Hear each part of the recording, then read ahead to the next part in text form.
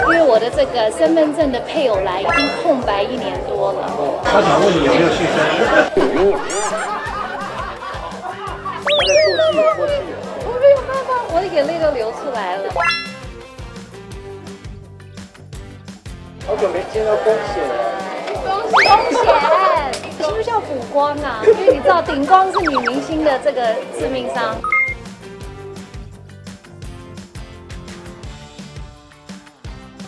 年母亲节就是跟孩子跟妈妈过啊，因为这一年来我要感谢我妈妈在台北陪伴我这样。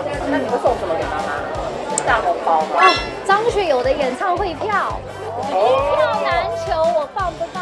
因为我妈妈是追星族嘛，你们都知道这个事情。说那个张学友的那个票，因为六月我就要飞美国了，你到底有没有跟我弄到六月初的？然后我想说，我有，我好像有六月十六号。哦，我六月初我已经飞了，我就知道这个这个意思，我就赶快再打电话看谁可以跟我换。我弄到两张了，这样子。他说哦，那就好。前两天问我说。那个 energy 呀、我说 energy 的家场你也要去？他说我很年轻的，我说 energy 人家家场是七月中吧，你你已经飞美国了。他哦，那我看他今天戏一去有活动，我说人家签名签到早上三点，你也要去吗？你也要十六吨吗？我说 please 别再搞了。哎呦，刘妈妈很可爱，她是一个啊。我在 Sugar Fina 怎么会不相信爱情？我们现在 Sugar Fina 就是要奔向一个浪漫甜蜜的生活。毕竟我有一个少女心，我工作跟小孩就已经来不及了，我哪有时间？他想问你有没有性生活？觉得我好像在跟玉林哥录热炒店？我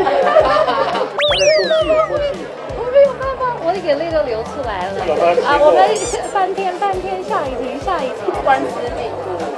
我跟你讲，这个真的从我上次看到你还没有新进度，如果有的话，你也要跟我讲。但是就我的立场，对我而言，因为我的这个身份证的配偶栏已经空白一年多了，所以这个就翻篇了。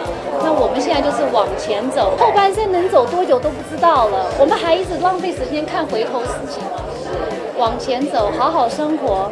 我热炒店我要做一个这个周年的探讨会，各个媒体大大的周年探讨会。我希望早点可以解决性生活。你到底对性生活有什么样的一些幻想？你一直一直不离题。哦，那你很健康哎，